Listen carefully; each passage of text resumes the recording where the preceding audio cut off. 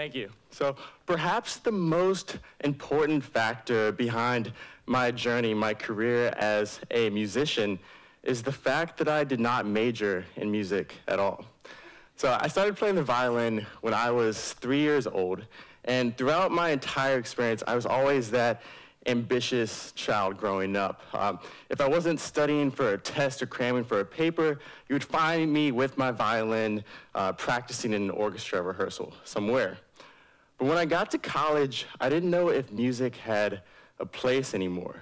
There were so many new things around me that I thought it was time to focus on something more important.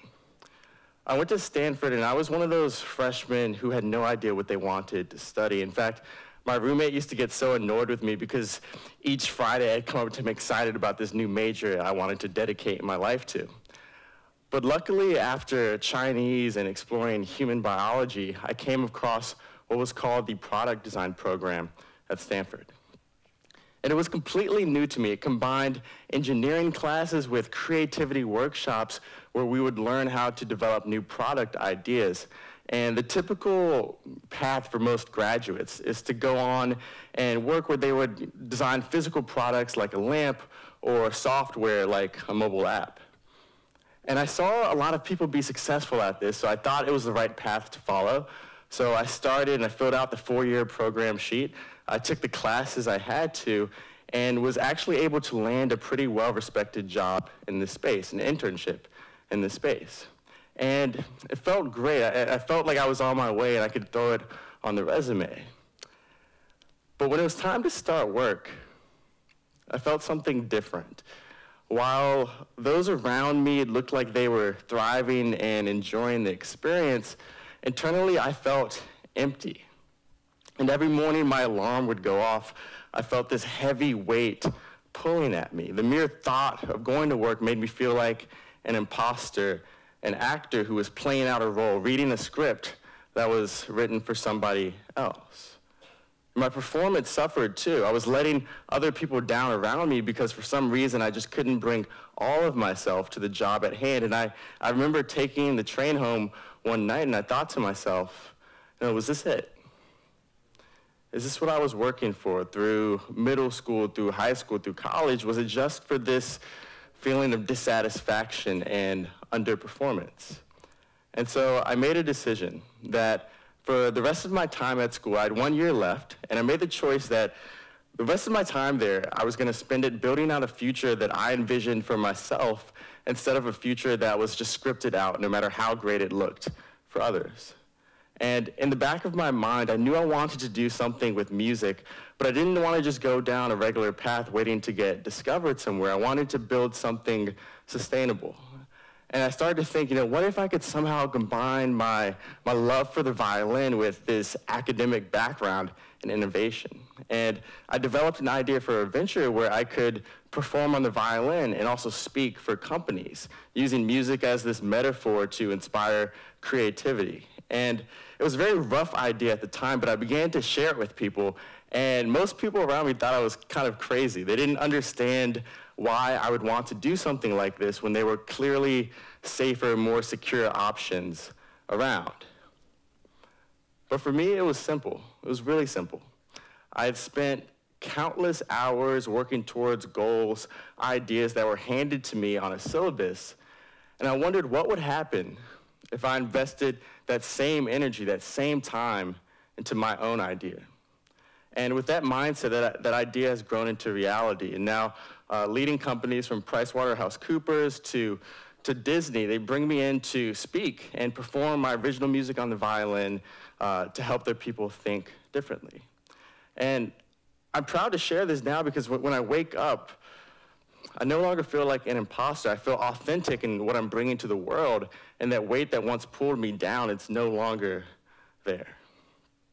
And so, in the few minutes I have left, I want to share a little bit of the mental framework I had and reframing my education to form this unique career. And hopefully, by sharing a few of these ideas, it can spark an idea in the minds of the students here or in the students in your lives of how they can take control of their own education as well to carve out to create a future that isn't just determined by their major or by a syllabus, but by what gives them energy.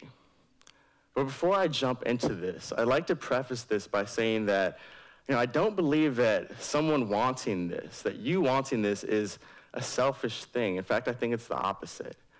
I think it's realizing that the world is in dire need of passion-driven leaders, people who give all of themselves to their work. And there's nothing stopping you from being that person. All it takes is a simple mindset shift. A shift towards embracing that your, your work, your path, your journey, whatever you want to call it, is not about choosing between this purposeful life and paying the bills, but the work, the journey, the fun is in finding a way, a unique way to do both. To do both. And I believe that school, specifically college today, is it can be a perfect place to do that if you can if you're able to prioritize your own internal aspirations over a predetermined category of success. So imagine you walk into a grocery store, a huge grocery store with 20 aisles and thousands of ingredients to choose from. But as soon as you walk in, you're asked to choose one aisle. You choose aisle 10. And you walk over to aisle 10, and as soon as you get there, you're handed a recipe. And you're told that if you follow these steps right here, then there's a good chance that you'll be able to make something that tastes pretty good. And so you don't want to waste your time in the grocery store, and so you, you buy the ingredients and you take them home and you spend hours making the soup or whatever it is. But it doesn't quite taste right. Like it doesn't kill you, it doesn't poison you, but it doesn't quite satisfy you the way you thought it would. And you're left sitting there with a barely touched bowl of soup wondering what was in those other 19 aisles that I missed. And I believe that this is the path for so many. It was the path for me, following a recipe, a list that offers security but lacks passion and personal investment. I, I envision an educational experience in which students aren't just propelled by their ability to take a test, but by their capacity to take a risk on themselves.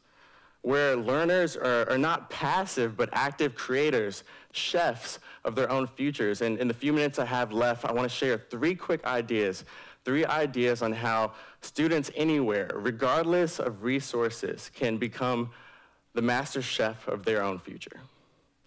So the first idea is move across the aisles, move across the aisles. College, schools everywhere, are this, they're these amazingly diverse places. But college specifically, some students are, are, forced to choose their major, their singular focus when they are only 17 or 18 years old.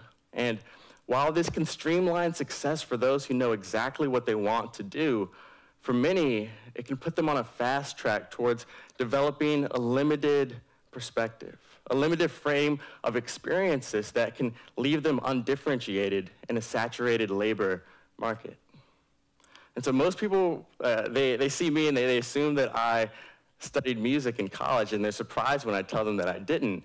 And if I did, you know, I probably now would have been auditioning for orchestras or something like that because that would have been my frame of reference. And I would have been one of many doing that. But by not studying music, by studying design, I was able to expose myself to this whole new world of creativity and leadership training and was able to see an opportunity to connect both worlds. And I truly believe that if students uh, can take uh, a nonlinear path, then they will find sources of input that can separate them from the pack. So move across the aisles. Idea number two, redefine your ingredients.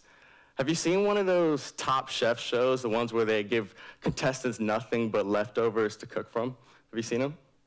I was recently watching an episode and it was crazy. They gave the, the contestants nothing but mashed potatoes and dried fruit to make something out of.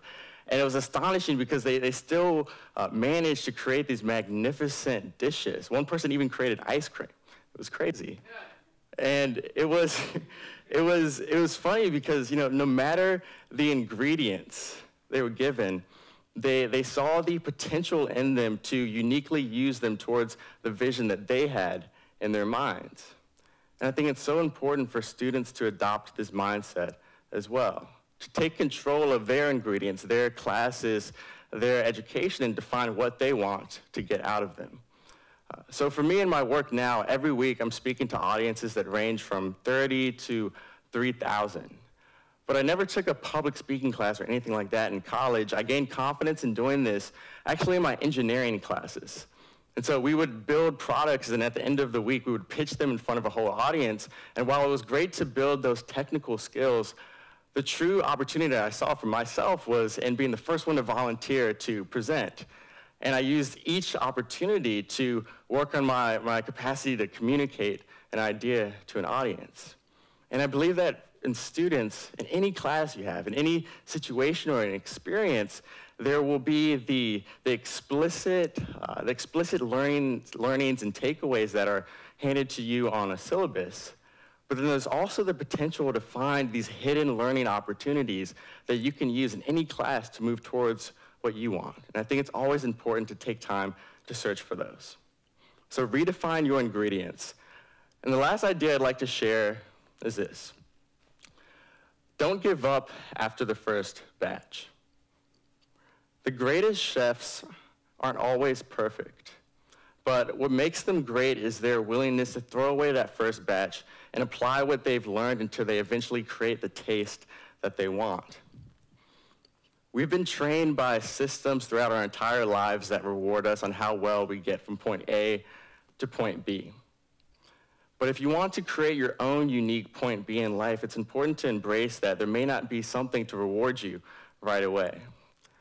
I remember when I first started sharing what I wanted to do, I felt very isolated because most of my friends had jobs that were lined up and you know, teachers couldn't really offer me advice because it was just a bit outside of their expertise. And so I was waiting and I was waiting and I was waiting.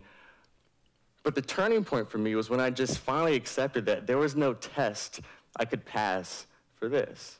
There was no teacher that had an answer key that would, that would help me. This was on me. And so I began to reach out to hundreds of organizations, and hundreds of organizations told me no.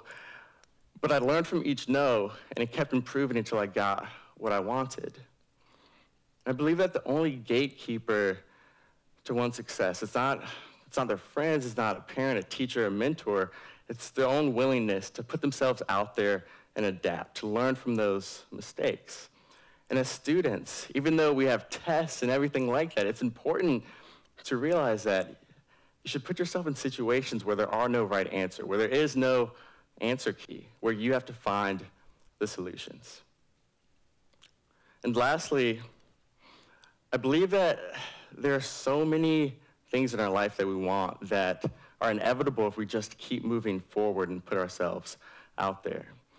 And I'm often asked, what made me think I could do what I'm doing now, go to these places and have something to say at my age? And I always share a conversation that I had with my mother a few years ago, who, when diagnosed with breast cancer, she, she talked to me and she told me all of these different stories about things she wanted out of life, but hadn't gone for yet. And I remember staring at this creative and passionate person who was hurting mostly from a choice of inaction a choice of inaction. And she inspired me that I didn't have to wait in order to realize that I should relentlessly go after what I wanted out of life. And neither do you. Now is the time. Do not doubt your own ability to create or leave your own imprint on this world. Now is the time. Thank you so much.